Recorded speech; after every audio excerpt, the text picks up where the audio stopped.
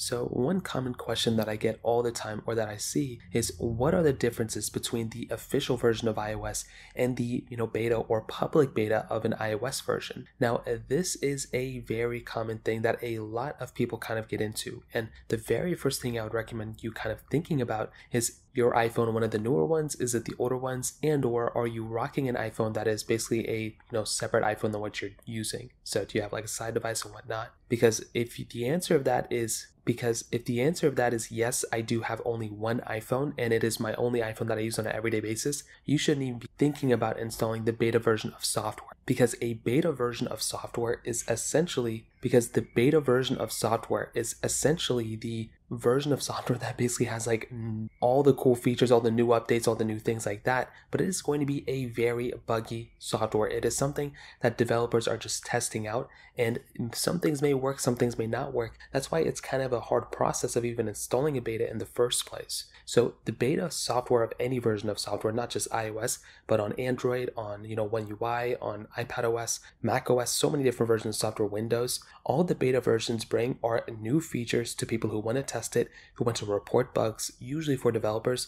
That way they can test the bugs and that way they can like test the bugs and test all the issues like that before it officially comes out on the public, you know, software for everyone out there. So personally, that is so from what I've seen, that is basically a, you know, person who's a developer or you have a separate phone, those are the people who should even consider installing a beta. From everyone else, though, I think installing a beta is not the best move. Now, the official version of software, so official iOS versions, are typically the versions of software that have been vetted by Apple, that have been vetted by many engineers, and that have been probably in a beta format for many, many weeks and or even months before they actually come out. So, a official version of iOS, like iOS 16.2, for example, example, is going to be a more stable version of software than let's say iOS, you know, 16.2 beta because more people have been able to test the official version and a majority of the time the official versions are way more stable and just better versions of software overall than their beta counterparts.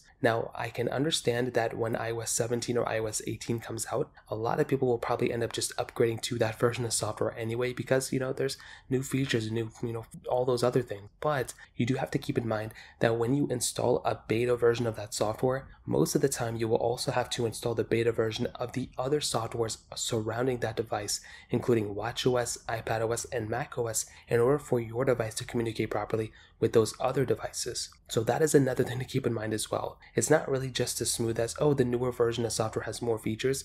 There's also more bugs. There's also more compatibility issues. And majority of the time, you're going to be in a better situation if you just hold off in installing that next version of software. Just wait it out and just keep rocking the official version of software. So to kind of sum it up, beta software or beta from iOS are pretty much just the versions of software that have cool features that are newer and probably not on the official version yet, but are still in a buggy state. And the official version is the tried and true method and the tried and true version of software that the beta is that hopefully isn't as buggy as that beta counterpart. So that pretty much covers it up. If you have any other thoughts or questions, let me know in the comment section below. Hit the like button, that would mean so much, but definitely hit that subscribe button. More importantly than everything else, I love every single one of you guys. Hopefully I'll catch you guys in the next video. Peace out till then.